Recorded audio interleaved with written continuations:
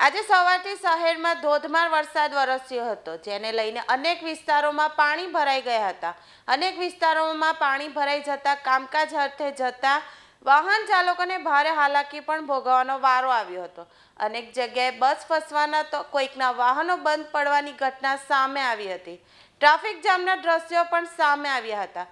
જોકે વરસાદ થંભી જતા થોડાક સમયમાં પાણી ઓસરી ગયા હતા. જોકે પાણી તો ઓસરી ગયા હતા, પરંતુ વરસાદને કારણે ઘણી જગ્યાએ રોડનું ધોવાણ થઈ ગયું હતું અને મસમોટા મોટા ભૂવા પડવાની ઘટના પણ સામે આવી હતી.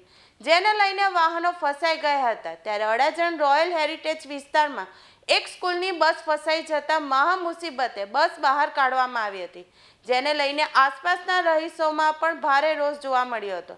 અને આ સ્થિતિ ફક્ત આ વર્ષની નથી, આ સ્થિતિ દર વર્ષે જોવા મળે છે. વરસાદમાં પાણી ભરાઈ જવું અને ત્યારબાદ રસ્તાઓ ઉપર ભૂવા પડવા એ હવે સુરત માટે સામાન્ય બાબત થઈ ગઈ છે. અને શાસકોને જાણે શહેરીજનોની કોઈ જ પડી ના હોય તેમ, તેઓ ફક્ત સ્માર્ટ સિટીના બણગા ફૂંકવામાં વ્યસ્ત છે.